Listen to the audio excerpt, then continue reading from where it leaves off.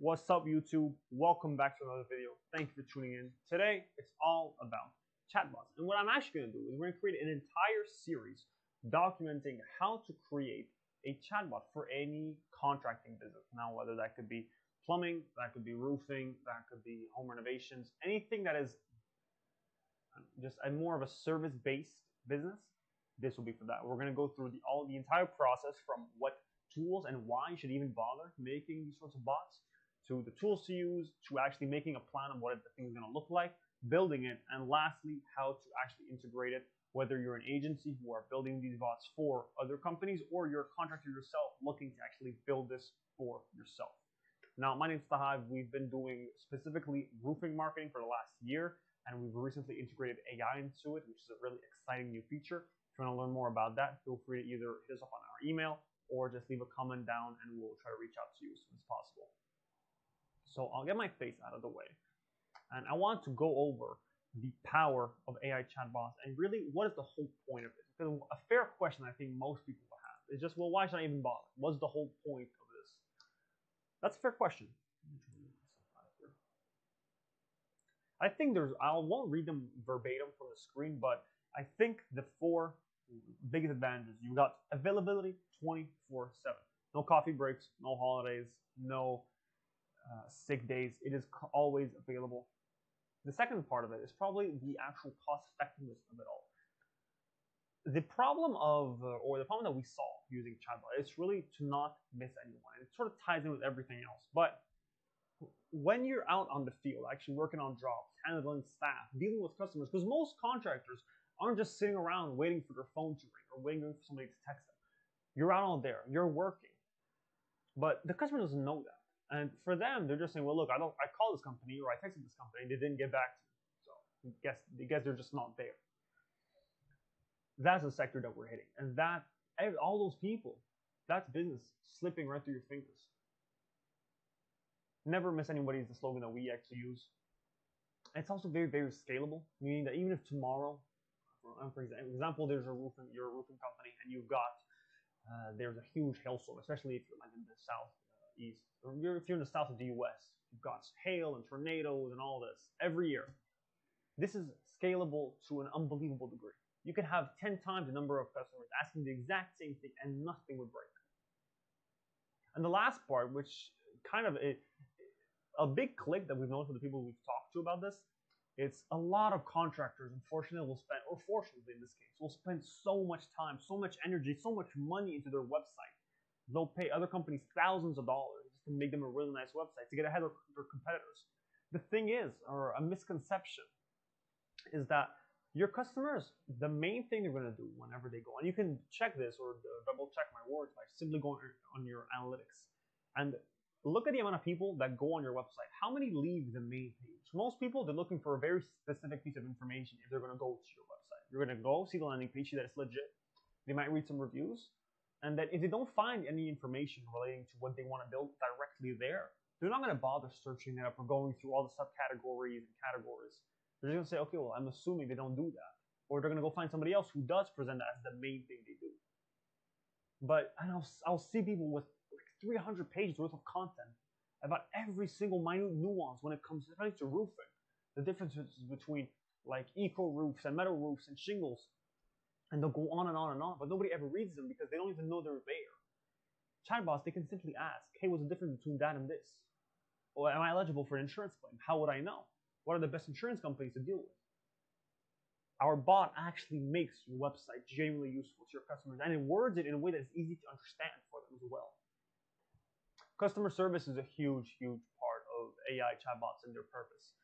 The, from the personalization that you get, the answer they're looking for on their own terms. There are a lot of nuances and a lot of different variabilities. I think in most people's cases, they like to think that their case is special, meaning that's the reason why they call you in the first place or they texted you. They want to know, okay, but what in my case? That's the unfortunate part about websites in general, is that they're very cookie cutter, which means they have to target the, the broadest audience to be able to make sense to anybody. But with chatbots, you get that personalization back without having to spend all the money, the time, especially the time training these staff on these uh, on these banal questions that you get all the time, with just maybe a couple like little details sprinkled in. Well, look, my roof is metal, but it was installed in 1988. Does that change anything? That information is probably written somewhere if you deal well with metal roofs, but just people aren't going to bother looking through it.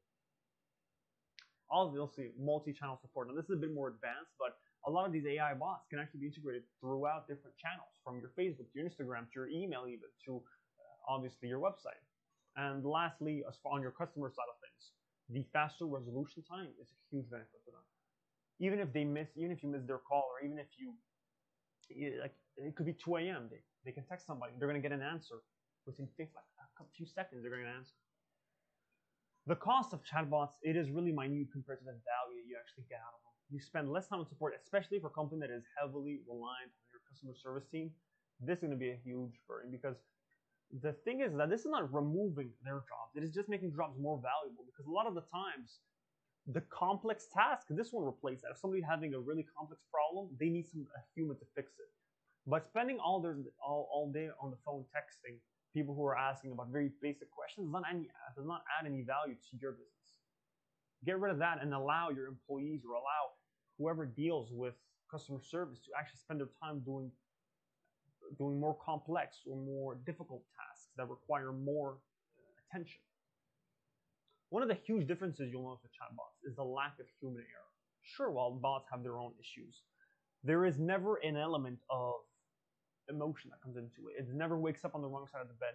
It never forgets to drink its coffee. It doesn't have to go on breaks. It doesn't get tired. It doesn't get burnt out. It's just answering questions all day, which means that everybody gets the same answers if they ask the same question. Nobody's treated differently. Nobody's treating worse. Everybody's treated with utmost respect consistently. Then you've got data collection and optimized marketing. These are more advanced topics as well, but as people go on and they keep talking to this bot, what you'll notice actually really interesting. A lot of people, especially if you tell them that this is an AI bot, they're going to try to break it. They're going to try to ask it a bunch of different questions.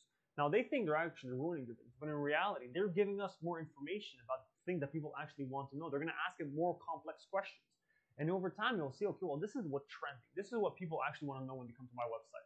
Why don't I just put it on the landing page? And then you're getting even more of that sector because the information, think about it from the user's perspective.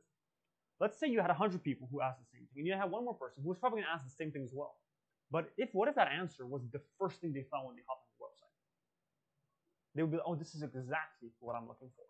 If a lot of people are asking about insurance claims, and the first thing they see when they go on your website is, we are experts at insurance claims, assuming you are.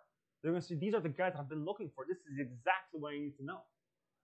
That's part of the data collection. You can understand what your customers want, what your market wants from you.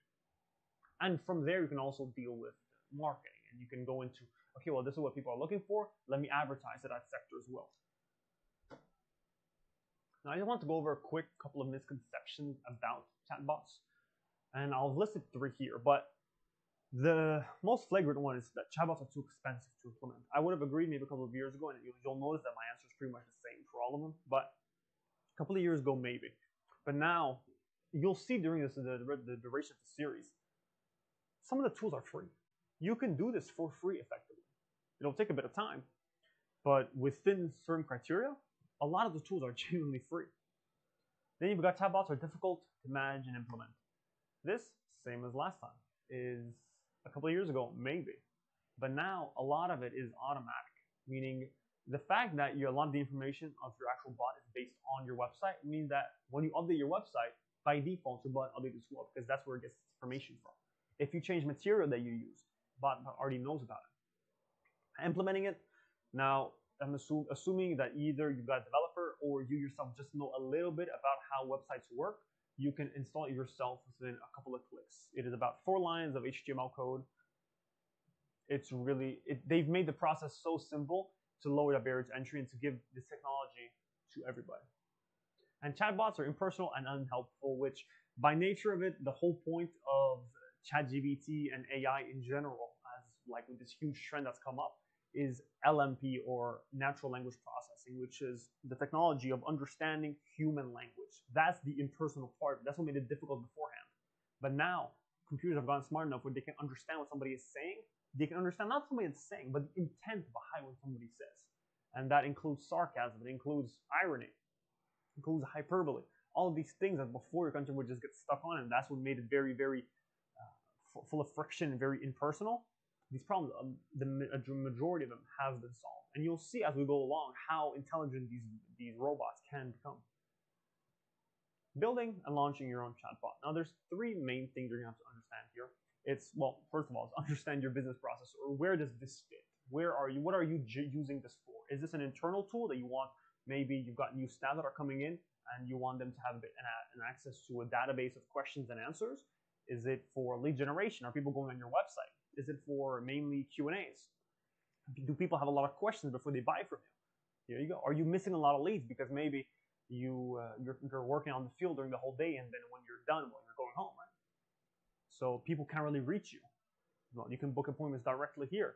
Second part is understanding the use cases, which kind of ties into what I said initially about what is the purpose of the bot. Is it to book appointments? Is it to ask questions?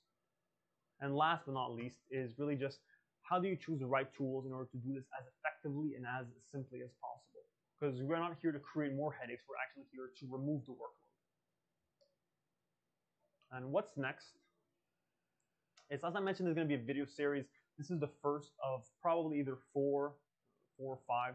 The next videos are probably going to be the biggest one. Where we're actually going to go into the different software that are used. It's going to be very similar to the previous video, but this one's going to be a lot more in depth. It's going to be a lot more presentation style with why we're doing that and why we're doing this. And it's to also going to go through the main thing of what we want our customers to do, which in most cases is to book an appointment. After that, we've got Q&As. That's how do we handle questions, where we're to get the information from. Then you've got scheduling or the any sort of extension that you can use in order to book clients directly into your calendar. Beyond that, you've got complaints handling, which if you've seen the previous video, I also spoke about that. It's going to be very similar to that. Remember, anybody who heard the word components is going to come up here. And last but not least, we've got the UI or integration part, meaning, okay, well, we built it. Now let's make it look nice and let's make it live. So I, I hope you appreciated this. I hope, I think this is the beginning of a really, really cool series. And I'm looking forward to it. If, by the way, if you have any questions or any concerns, either feel free to leave them in the comments or just shoot us an email at team at allmyte. We'll try to get back to you as soon as possible. And yeah, I'll see you in the next video. Thank you.